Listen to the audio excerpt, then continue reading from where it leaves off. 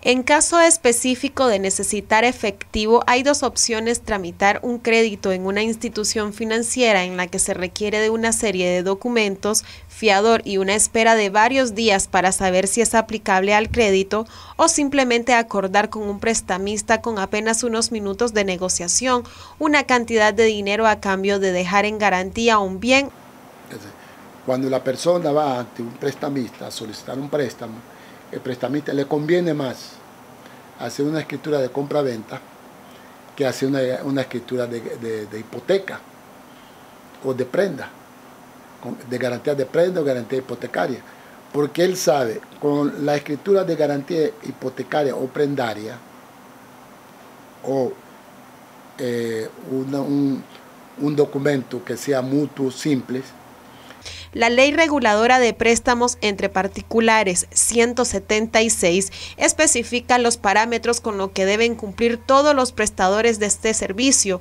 Tienen que declararse como prestamistas en escrituras públicas e inscribirse como tales en los libros para que este efecto lleve el registro público del Departamento del Domicilio. Mire, el mejor consejo sería que los prestamistas hagan los documentos real de lo que se está prestando. Que no simulen con compraventa, porque eso puede generar una acusación en contra de ellos por varios delitos.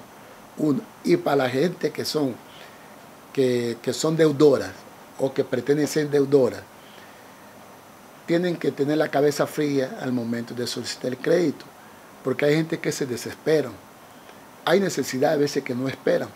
Entonces la gente llega a un prestamista y te da el vehículo. Mira, aquí está el vehículo. El vehículo puede que tenga un valor de 15, 20 mil dólares y te lo pueden recibir por 10 mil dólares, por 5 mil dólares. que en eso todavía se da un lujo de decir, yo te lo voy a recibir por, te, doy 5 mil dólares, el carro vale 15, yo te doy 5 mil dólares. Entonces, para los prestamistas es aconsejable siempre, independientemente que se pueda hacer posterior un juicio, eh, prendario o hipotecario sobre un préstamo determinado, vale la pena hacer el juicio.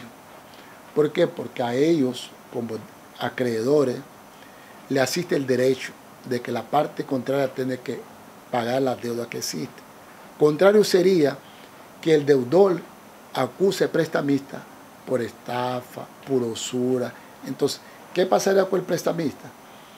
Pierde su dinero que haya prestado, le obligan a entregar el bien que dejaron en garantía o el bien que dejaron en compra-venta.